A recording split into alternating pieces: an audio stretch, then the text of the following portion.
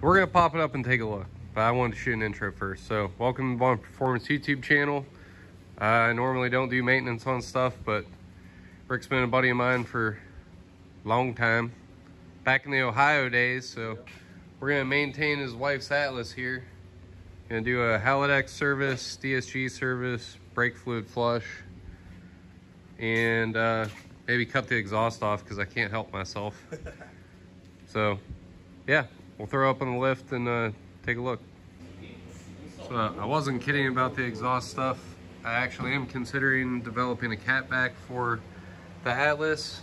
Uh, I've been getting a lot of requests for muffler, muffler deletes but that's just really not my style. I want it to actually sound good when it's done. So just did some measuring. It starts out with dual 55 millimeter and the downpipe. It's not really downpipe, it's not turbo. At this connection, it is 70 millimeter, which in America isn't a common size. So thanks Volkswagen for that. And then it comes back to dual 60 millimeter not tips because they fake the tips. So I might explore into removing those and putting real tips on it. I know Jamie Orr uh, plucked the tips out of his SEMA build, but um, I don't know about just popping them out, not having bezels or anything to hide all the ugliness up here. So we'll look into that, but Rick's uh, confirming we have enough fluid. The drain plug for the Haldex is here. And I want to say he said that's the fill port. Which one? Where's the fill port, Rick? Right up here. Oh yeah, there she be. Takes about 650 milliliters plus 50 after it's warm, so we, one bottle is plenty. Yep. So we're gonna get to draining and uh, get going on that. Also, Rick reminded me that I misspoke. This does not have a DSG. This has the eight speed slush box conventional transmission. Kind of like my big old Suburban over here with the six speed Allison. So uh, no, this is not DSG swapped. I'm just used to talking about performance Volkswagens, not grocery getter Volkswagens. Uh, but you know, this could be both. We've been talking about throwing a turbo or a supercharger on it because everybody likes having a little more hitch in their giddy up. It's rare that I get to play a film through. Look at that, in the pan. First try. yeah. That's some pretty clean looking fluid, but the filter will be the tell. Now remember, I just changed this 10,000 miles again, but I wasn't 100% positive on my quantities because the truck wasn't level. Oh. So Well, to be fair, my lift probably isn't 100% level, I was it's expecting it to be better than jack clean. stands. Yeah, better than jack stands, exactly. By the way, for all you guys watching this, debating on uh, DIY in this, you don't need a lift. The lift is just way more convenient and comfortable, but you'll uh, you'll get your crunches in if you do this on the floor. Ripped, ripped abs, like Rick and I here, Jack to 10. jacked and tan. That's what my wife's got me saved in her phone as actually. I wish I was kidding. and just because people like to know things ahead of time, got an eight millimeter for the drain and a five millimeter for the fill. Rick's got a 10 millimeter on the serviceable filter off.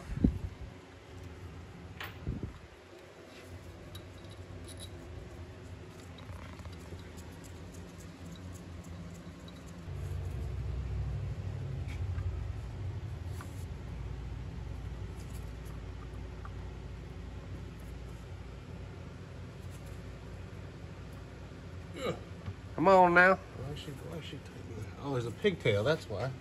Yeah, don't rip the Oh, fuck me. grounding strap off. God damn it. It comes all the way up yonder. And it's tucked away in back there. Shit. So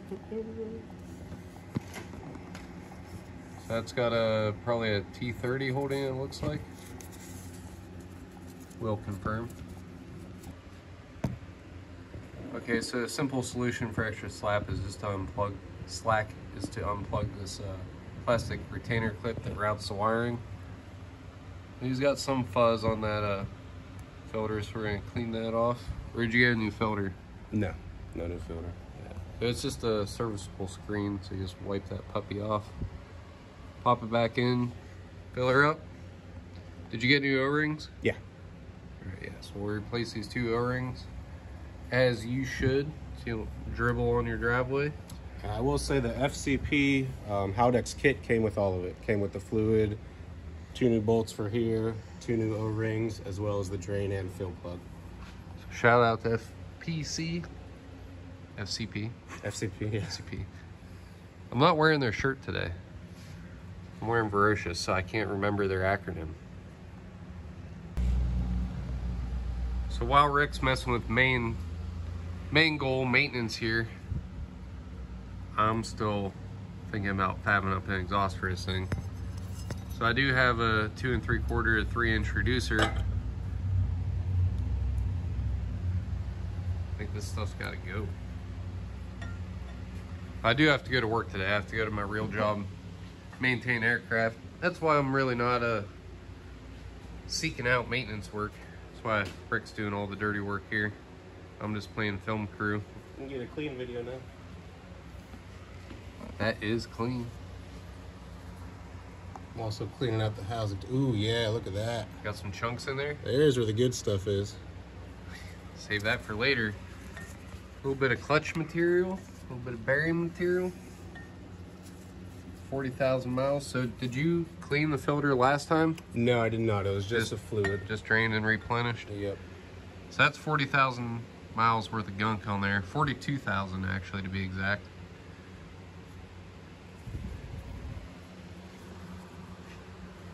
One more shot at the drain in the fill.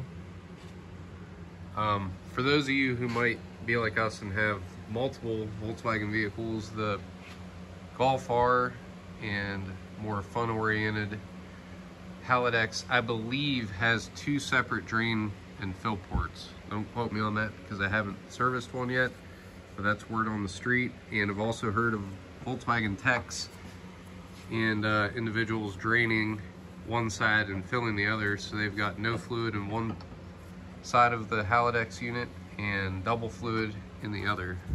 So don't be that guy. Yeah. We'll get a little bit of fluid on for lubrication.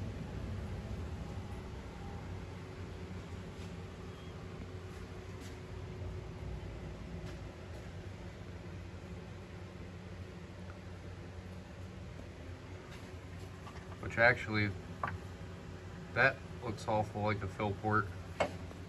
And that looks awful like a drain port. So we're gonna follow up on that and make sure that Rick's not about to be that guy. Also, pro tip since Volkswagen decided to put this in the way of the only screw up front on your uh, belly pan, since he plans on keeping this car a long time and servicing it often, we put a hole there. So you can use power tools to get that off without interruption. I missed the the shot of him actually doing it. For any of you that's laid under your car and finagled that, we'll appreciate that little tidbit. And then up front, of course, all these are T25, and then the three pesky T35s. Rick opting not to use power tools for these three. So we were right. There is a separate differential fluid service. So Haldex fluid is the forward ports. It's still empty up front. This is the fill for the Haldex, which is its own special fluid. And then this is just conventional, well, not conventional, it's synthetic 7590 gear oil, which I just so happen to have some Motul Gear 300 handy from lots and lots of previous GTI transmission services. So this is the one, uh, you could bring this up some to make sure you don't miss. Loosen this wing nut, bring it up. There you go. Don't want to have a fluid disaster. I'd, I'd make a great supervisor. All right. Ooh, it's cold too.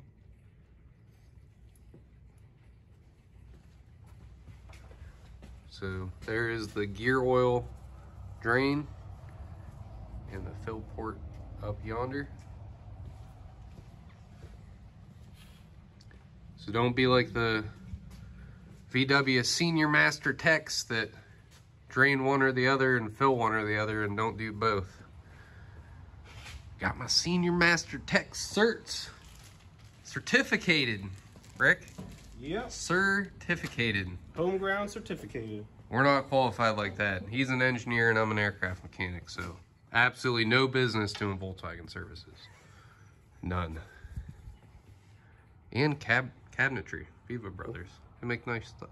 Nice They do. stuff. Very nice custom cabinets. If you're in Youngstown, Ohio, check them out. The three people from Youngstown that ever see this video. All right, so we've got Rick's Swiss-made penis pump, just like Austin Powers, putting 750 ml into the Haldex, not to be confused with the differential. So Rick says, according to the manual, you got to let her warm up a little bit and top off the fluid to make sure you get her just right. That's only because we took the pump off to clean the serviceable filter. Because there was extra fluid in there that drained out. Yeah. So we So right now the need need to run the pump to circulate through the filter cavity. Don't force her, Rick. I think we're, we're gonna I think, Think- we're gonna have to get an air bleed in there somehow. You think it's hydrolocked? Yeah. It's not letting me get anything in there. Without blowing my shoulder out. Yeah, look, it's just popping an air pocket back up. This is gonna blow the line off and shoot fluid everywhere eventually. Huh. All right, so we'll use the uh, alternative Here, I'll do method. Get some air pockets in there, pull a little vacuum. Mm-hmm. Oh. Again, there we go. Now you're thinking, we got engineering involved. Push it a little bit to prime. Pull back, pull a vacuum, get the air pockets. Go back for take three. I really want to get the whatever sticker was on Austin Powers penis pump. my, my, my wife's got a Cricut, so we're gonna deck this puppy out for future videos. That's not mine, baby. That's not my bag. What about this book? yeah, it says written and illustrated by Austin J. Powers. Also, on the subject of the penis pump, that is an option from FCP with their kit. Uh, but, Oh, we're getting fluid back, so we must be full now. but this adapter One more prime. Is from Amazon and is nice to have. We are not making any mess yet. Knock on wood. knock on stock exhaust. So I'll uh, I'll get the info from Rick and put those links in the bio for you. In the descripciones. You just want to be careful because this has quite a bit of leverage on those aluminum threads. So uh, make sure you install this tool before you put the line on and don't be yanking this thing around and snap it off in the diff and have to break the news to your wife that you messed her car up. Oh, bad time. Oh yeah, she'll be pissed. Or your car. There's no shame in driving an Atlas. I was actually debating between Atlas and this here Suburban, but this cost half as much, and this is where it hangs out most of the time, just chilling in the shop. So can't always be Volkswagen. Also, this is just some uh, clear tubing from Lowe's. It is 5 16ths inside diameter, which is the only thing that matters. It could be 6 inch outside diameter. It wouldn't have any effect on what you're doing with it.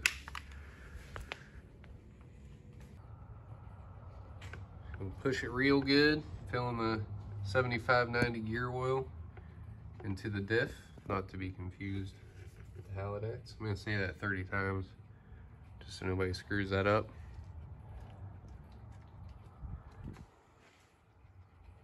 Beautiful pumping action from the Swedish made penis pump.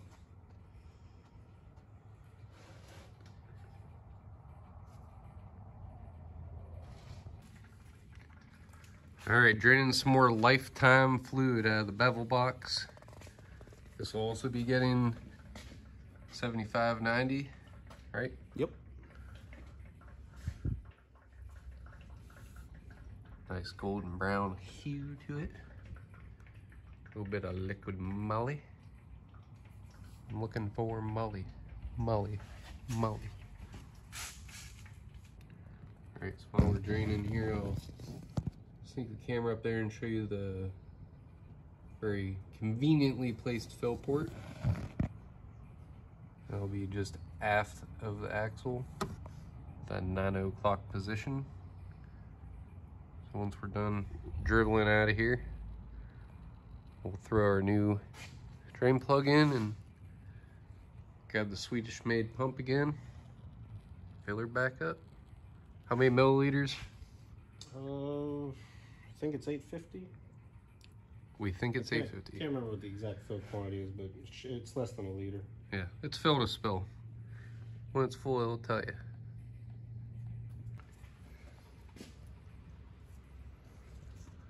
So again, this tool off of Amazon.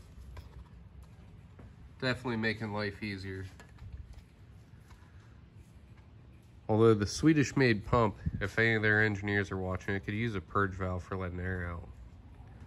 Just uh, on V2, let's, let's put a air relief valve somewhere in there. And it does have some rubber grip for her pleasure. It does. Get your fingers entwined on that grip. Really bear down on it.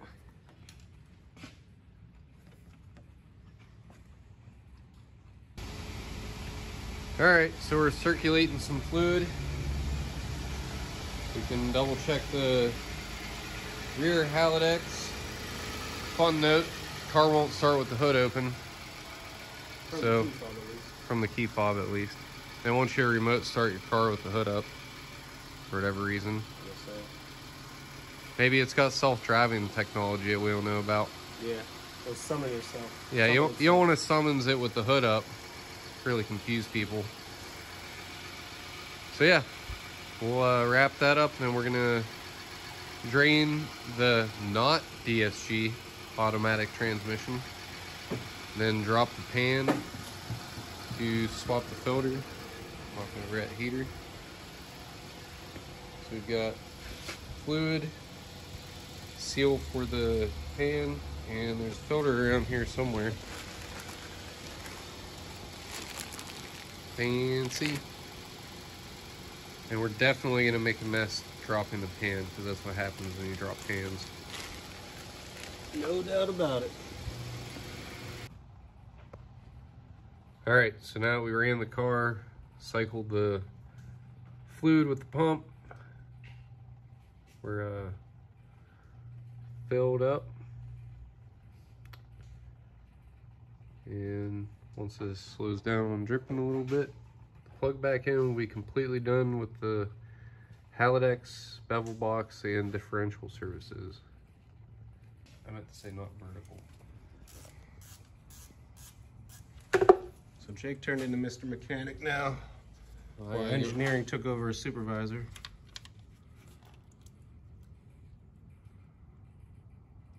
Sweet is gonna do laps and take forever.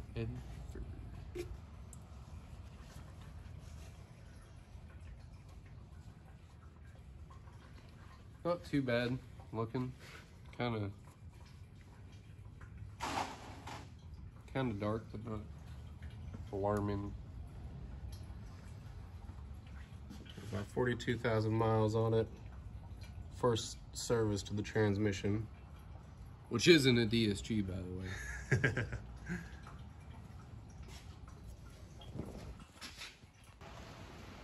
All right, so this is the kind of mess you can expect. Three 10 millimeters. Pop that puppy right on out of there. Try not to drink it. Rick says it doesn't taste good. Not at all. I can't imagine why.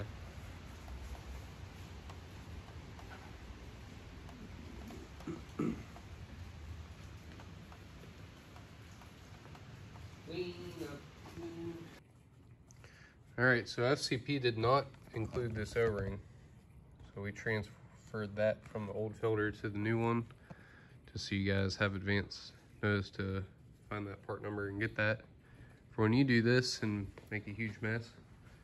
So three bolts, 10 millimeter, slap that back on, and we'll put the pan on with new gasket.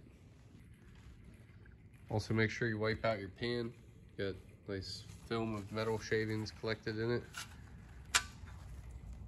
Some magnets for collecting all the fuzz.